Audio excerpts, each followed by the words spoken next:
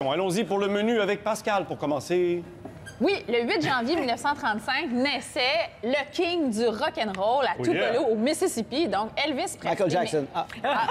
J'ai dit du rock and j'ai pas dit de la pop, j'ai dit du rock and roll. Johnny Mais Cash. Sans, non, lui c'est du country. Sans cette femme, Marion Kesquer, ben on aurait célébré le 83e anniversaire de Elvis Aaron Presley, le camionneur retraité. Et c'est de elle, donc de cette femme, qui a transformé Elvis en magie, que je vous parle aujourd'hui. Que portrait d'une femme influente, t'en Ouais. as l'habitude et ça vaut la peine aujourd'hui. Je te suis. C'est drôle parce qu'au Golden Globe, on le dit, euh, les femmes et le féminisme étaient à l'honneur, étaient célébrées. Puis quand je, je lisais sur le travail de Marion euh, Kesker, une Américaine, elle aurait très bien pu figurer avec son parcours euh, de- dans les communications et dans le divertissement parmi les femmes qui étaient célébrées hier.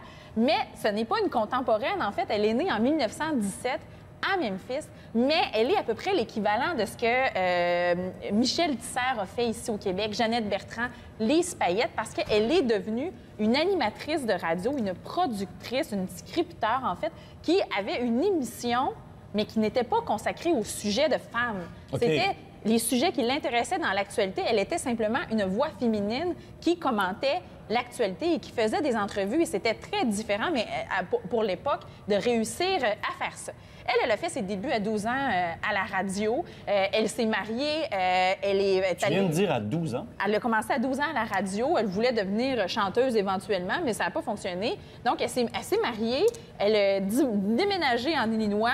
Elle a eu un enfant, puis ça faisait pas. Elle est divorcée. Elle est retournée à Memphis faire de la radio à WREC. Donc, où elle est devenue productrice, scripteur, animatrice. Et là, c'est là que ça a décollé. Elle est vraiment devenue hyper populaire dans les années, euh, dans les années 40. Euh, elle a, ça a été difficile de, faire sa place d'avoir carte blanche finalement pour cette courte émission de radio parce qu'elle en produisait plein, dont des radiothéâtres. Mais elle s'est dit, elle a, convaincu le directeur de la station de dire, ben si c'est moins personnel, si c'est un personnage qui est là, alors elle a inventé le personnage de Kitty Kelly.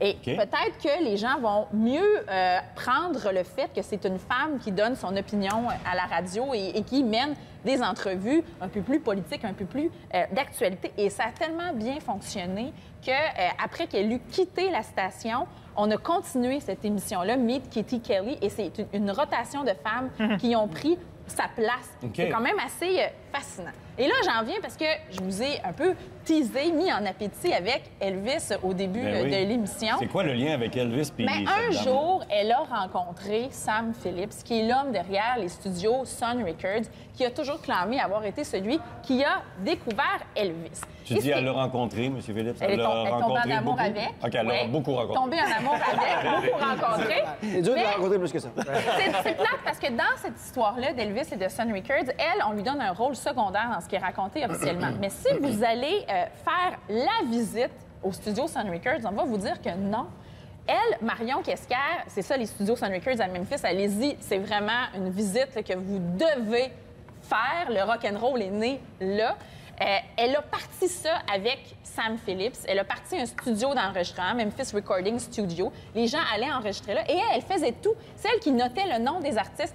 Elle les rappelait s'il y avait du potentiel. Elle était capable de penser, ça, celui-là va aller avec ce band-là. On va le rappeler. Elle menait les sessions de- d'enregistrement. Et c'est son bureau qu'on voit ici parce que ça, c'est préservé.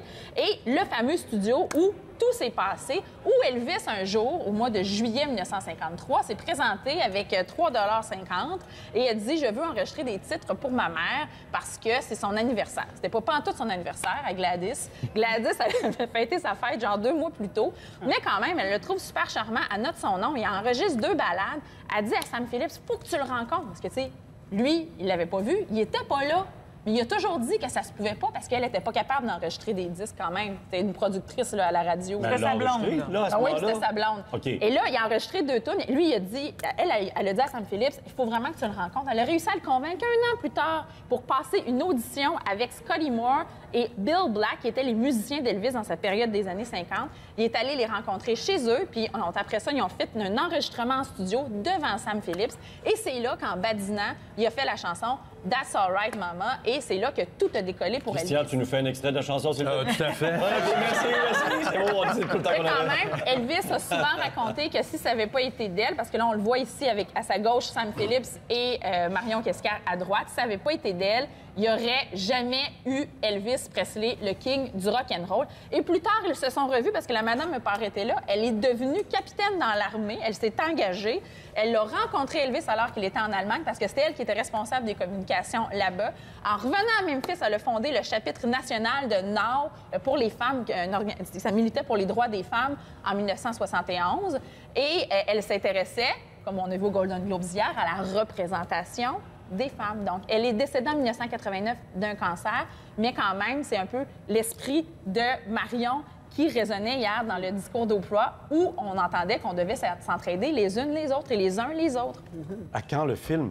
Ben, elle, est, que- elle, est dans les, euh, elle est représentée dans les séries sur la vie d'Elvis, notamment celle de CBS. Mais, euh, et le rôle est assez euh, respectueux. Mais Et là, tu n'as pas traversé une bio pour ça, hein? Il n'y a pas une bio publiée sur je elle sais que pas. tu connais? Non, non, j'ai pris. Mais moi, J'entends sûrement des gens à la maison qui se demandent ça pour faire la suite de ta chronique. Ah, mais j'ai tellement fait le saut cet été quand le gars au, au studio Sun nous raconte ça. Je, je suis une fan d'Elvis, je connais quand même beaucoup son histoire et je ne savais pas du tout euh, l'histoire de Marion Kesquer.